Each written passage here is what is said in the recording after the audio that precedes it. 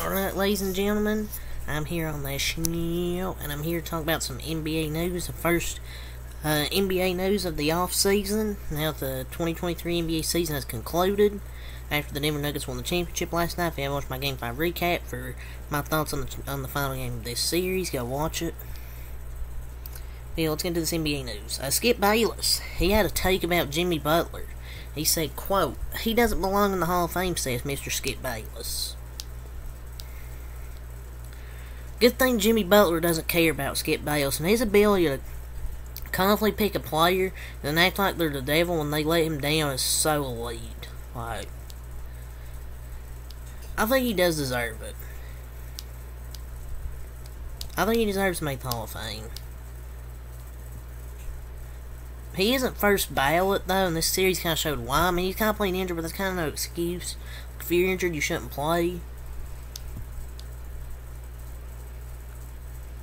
I think he should get. I think he should get in the Hall of Fame. I don't think he's like a first ballot or anything, but I think he should get in the Hall of Fame. If Manu Ginobili made the Hall of Fame, then Jimmy Butler can make it.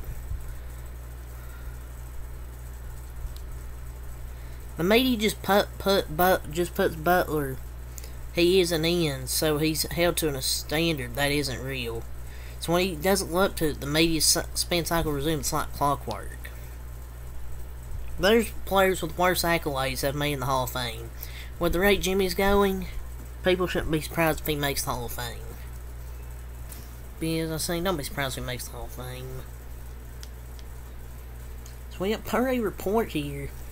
Some teams are are keeping a very close eye on Bradley Beal and the Washington Wizards. So, I feel like he's not leaving. That team is the same thing we talk about every year with Damian Lillard. Like, oh, well, teams are going to keep a close eye on Damian Lillard, might trade for him, and it doesn't end up happening. I think the same thing's going to happen with Bradley Beal. I mean, some people thought, oh, he could get traded to the Heat. I saw something, maybe Duncan Robinson, Tyler Herro for Bradley Beal. I feel like the Wizards would say no to that. It's pretty much the Suns and the Sixers uh, in the article here.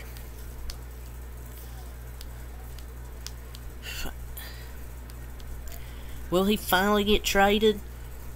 Who knows? But it's official. The off season doesn't begin until the Bradley Beal and uh, Dame rumors begin in the off season. All these rumors, and they're just gonna stay with their teams and keep.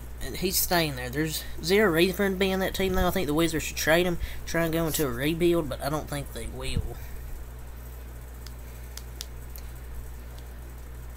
But nobody wants him for forty million a year when Damian Lillard's out there to be, get traded for. But he's got a no trade clause. I'll I'm sleep until when it's when slash if it's official. But nobody's gonna want his contract.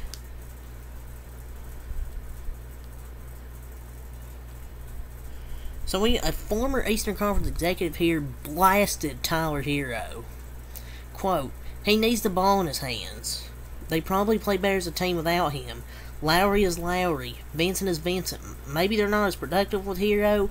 Not to mention, he's a hole in their defense. End quote.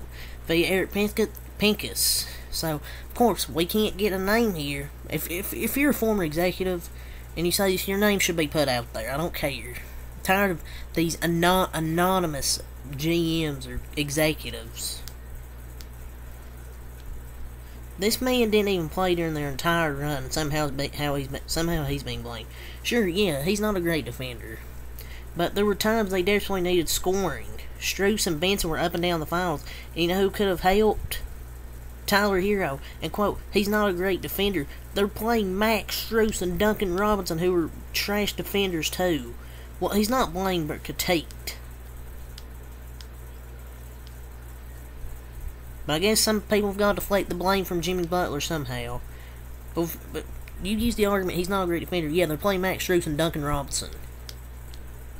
I don't know. It looked like they needed. Looked like they need shot making to me. Looks like they needed shot making. But y'all gotta stop posting these quotes without names. They're scared to speak up. But if they're scared to speak up and say it, don't even post a quote.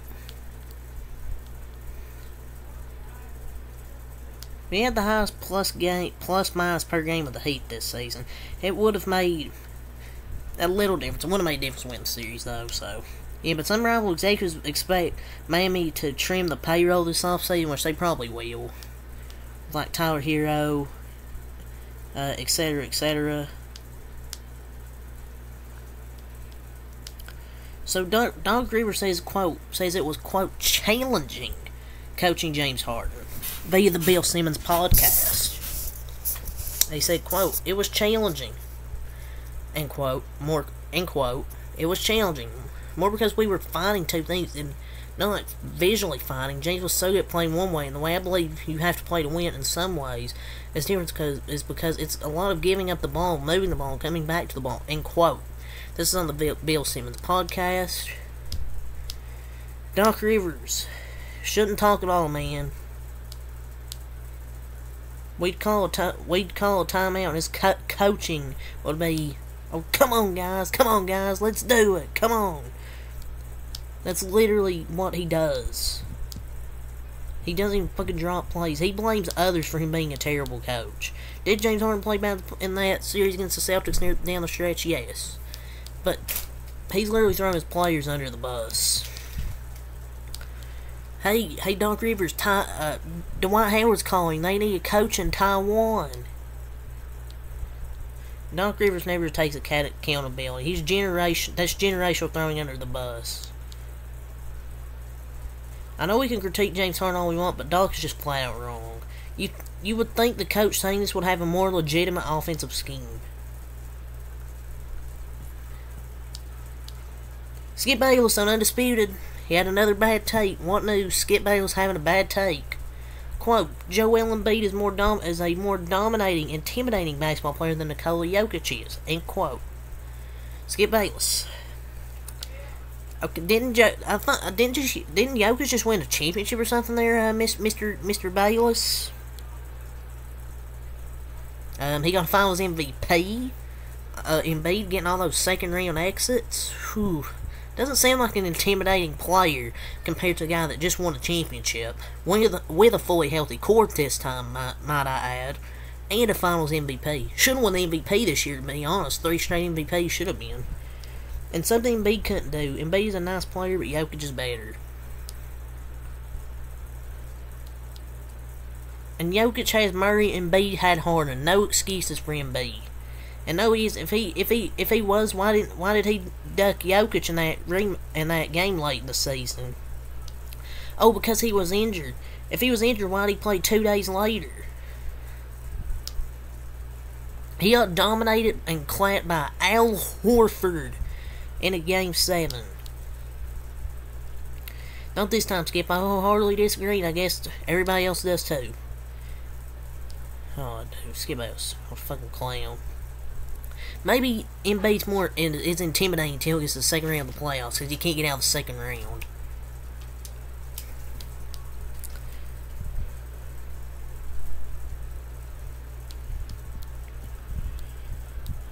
Uh, Shannon Sharpe was officially signed off of Undisputed, so Shannon Sharpe is done. Wonder if Skip let him finish his monologue.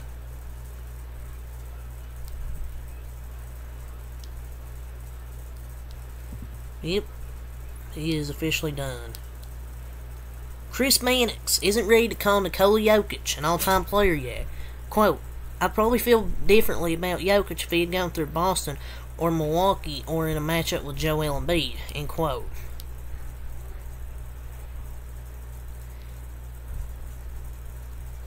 he basically said his thing he put in the comments like it's not all what he was saying.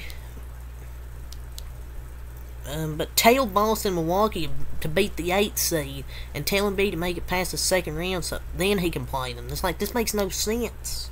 Quote, I'm not going to dismiss Miami and he proceeds to dismiss Miami. So basically, he's been dominating so much that he needs to struggle more to shine. This doesn't make sense, dude. You beat the team you're playing against. Jokic had arguably the best finals performance ever. This is just this, this is just such a wild take. Who let this guy have, a, have, an opinion? This dude, Jokic, is a two-time Finals MVP and a Finals MVP now. It's Jokic. It's not Jokic's fault these teams didn't make it. It's the, the own team's fault that they couldn't make it. Has Chris Mannix ever had a good take? Because every time I see him, he has a horrible take.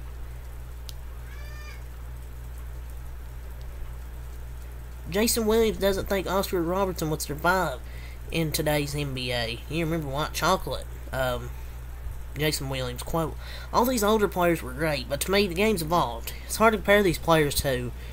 They were all great in their own way, but like Oscar, he one of the greatest ever. Correct? He can't play today. That's what I'm saying." And quote on via all the smoke. I don't know. Other players, older players, maybe would have adapt, ad, adapted to today's league. At least in my opinion. Alex Caruso was just named to the NBA's All-Defensive Team. Oscar would thrive in this era. At least in my opinion. Jason Williams is irrelevant now. Guess he's just trying to get some attention.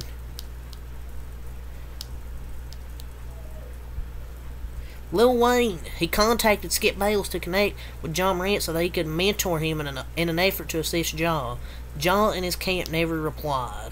What a crazy friendship. Lil Wayne and Skip Bayless being friends is crazy to me. That's crazy. Lil Wayne maybe would be a good role model for John, but I, I don't think that. I don't think so. You can't help someone who doesn't want help. Ja Morant just doesn't want that help. Spencer Dinwiddie, he has arrived in China.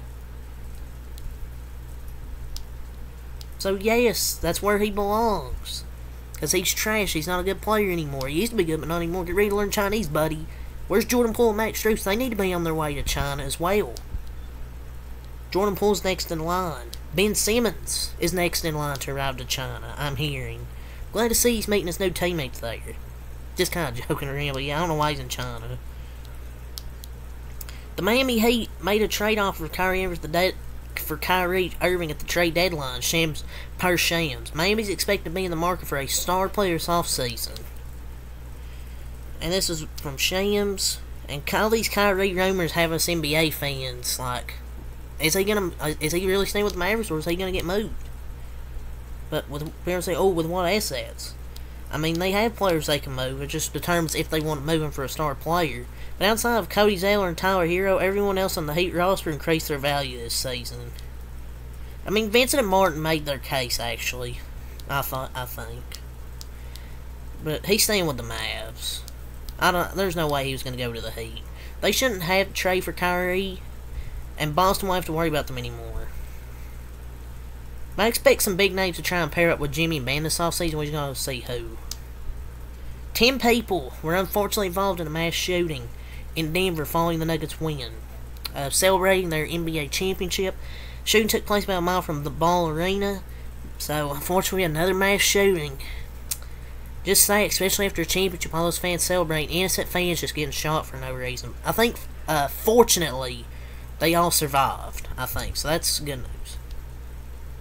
Shams on the Pelicans potentially trading Zion. I'm told the Pelicans are going after Scoot Henderson which we talked about yesterday, they could trade it for second or third pick. Do the Pelicans look hard intentionally internally of, of moving Zion Williamson? Question mark and quote. So they're looking to trade in the draft. If I don't know. This is a delicate situation. You can't trade him right now, but how long do you wait before you have to? But maybe the trades, maybe the time's to trade him now. This is as high as his value going to get. While the value, while the team still thinking his value, it's time to trade him. If you're Pelicans, if you want to get a good young, a younger, a good young player in Scoot Henderson, and a good young guard, and Zion's values, I think as high as it's going to get right now. At least as of now. Uh, KCP's now two-time champion. So that's and the Denver Nuggets are now your world champions. 2023 Finals Game 4 had the second lowest viewership since 2007 Finals Game 4. Game 4 of the 2025, 2020 Finals remains the lowest. I mean, yeah, Game 4 is kind of boring. It's been a terrible, it was a terrible kind of boring Finals, but the right team won. Jimmy Butler doesn't plan to attend his Hall of Fame ceremony if he makes the Hall of Fame. So, he's not even to attend. He wants to be different so bad. He I mean, I think he'll make it. People say, "Oh, he won't make it." He will. It's just, you know, he's trying. I think he's just trying to say to look cool, but I don't think he is. But yeah, that's all I'm saying. Till next time, Peace.